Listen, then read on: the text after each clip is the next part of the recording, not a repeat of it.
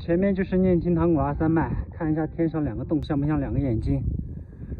翻那个山有一个垭口，叫纳根拉垭口。翻过那个垭口，到拉萨基本上一路下坡了。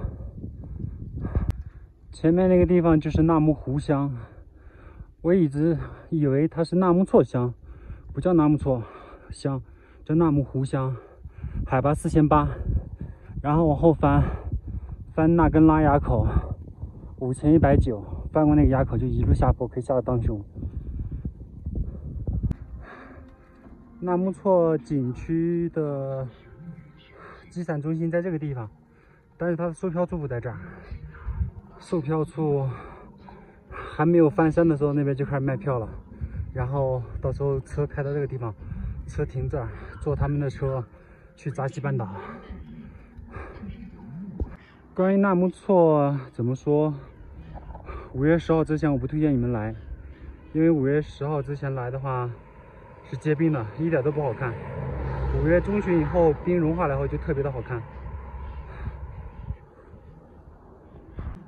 五月份以后门票就从六十涨到一百二，区间车九十是不变的，相当于是两百一。到时候你们车人多的话，不想走这边。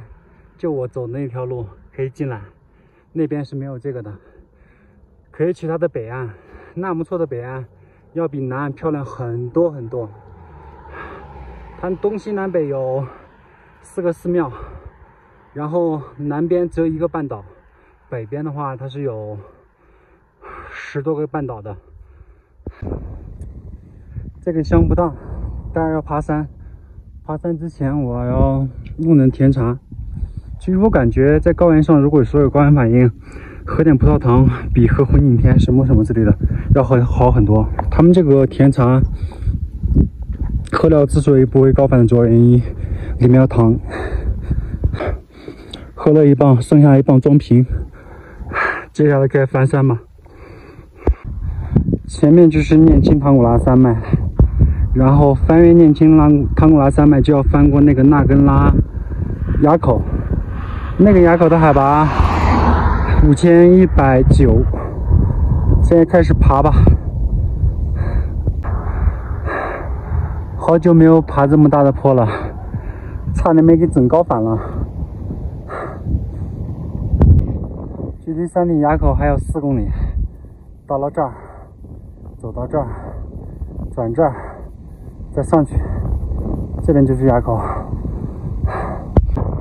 距离山顶垭口还有三公里，现在已经开始下雪了。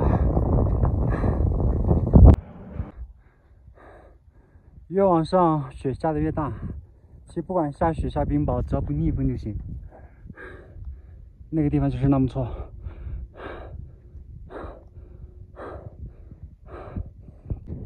再带你们看一下纳木错，因为再往前走，过了那个山口就看不到了。前面就是阿根拉垭口了。不好的消息是，过那垭口往前走是逆风。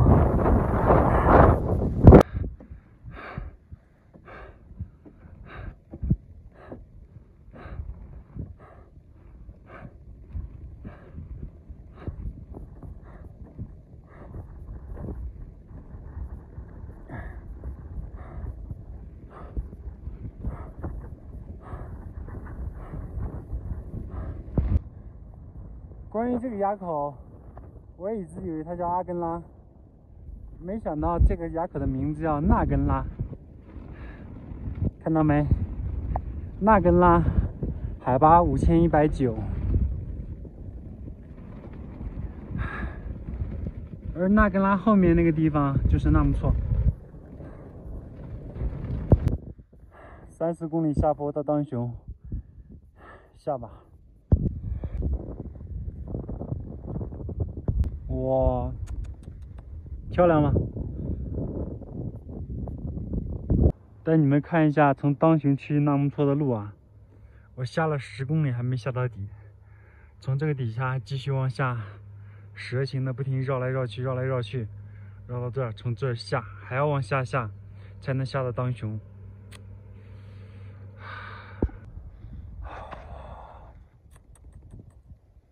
赶快到底下吧，再不到底下我就失温了。看一下前方有没有人知道前方那个东西是干嘛的？就在念青唐古拉山山脚底下。终于到当雄了，这边住宿最便宜的就是太空舱，五十块钱。然后外面现在太冷了，就懒得出去了，点了一份炙热米饭。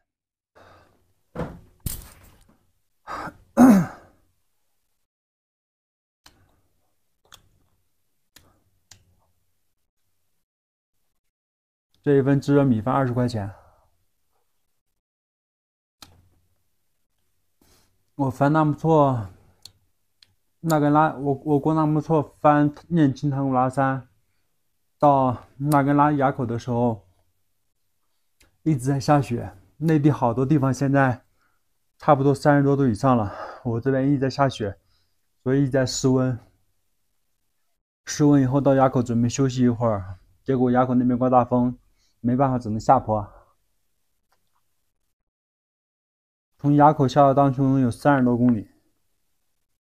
其实相比于很多地方，我宁愿上坡也不愿意下坡，因为下坡更冷，上坡身体在运动，所以会产生一些热量。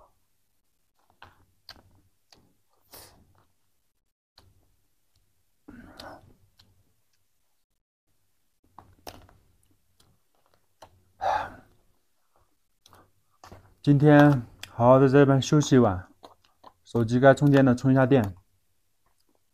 明天就顺着念青唐古拉山到羊八井方向，沿途有好多的温泉，而且最重要的就是念青唐古拉山有两百多条冰川。我今年来西藏就是爬高海拔去看一下冰川的。嗯。幸好有个保温杯，还可以喝一些热水。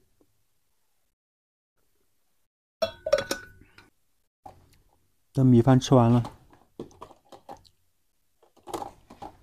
明天再扔吧。今年闰了一个二月，所以西藏这边的天气异常的冷。翻过那个山的垭口，到那底下那个地方有纳木错三个牌子，那个地方就是收费口。你们还没有看到纳木错的时候，就已经开始收费了。纳木错在五一之前的门票是半价的，都包括东游西藏，它的原来门票是一百二十块钱一张，也就是说门票半价六十，但是有一个东西要强制性买，九十块钱的交通费。五一之前相当于是一百五的门票，过了五一以后卖二百一。关于西藏这边的景区，其实我很想吐槽的，不管是三大寺啊，或者是三大圣湖，亦或者四大神山，只是对藏族同胞而言。但是西藏这边的景区对于藏族人是免费的，对于汉族人就各地圈起来进行收费，稍微大一点的寺庙都会圈起来收费，少的话六七十，多的话一两百。布达拉宫旺季的话是两百，有时候的话可能要经过加价，七八百块钱才能买一张。这是西藏这边最让人诟病的。但是我因为今年来西藏的话，对于那些寺庙什么，反正里面又不让拍照，我对那边不感兴趣。纯粹就看这边的沿途的一些生活，高原上的一些动物、植物以及冰川之类的，或者是一些奇特的寺庙。奇特的寺庙，你比如说紫竹寺啊，亦或者是扎央宗啊，或者是什么什么之类，我对那些特别感兴趣。而且那些地方不需要门票，特别的奇特，比布达拉宫还值得去。行了，今天就陪你们聊到这儿吧。明天顺着念青唐古拉山这边有两百多条冰川。看一下能爬多少条吧。这个太空舱里面还有电热毯。今天晚上就这样吧，希望夜里不会太冷。晚安了。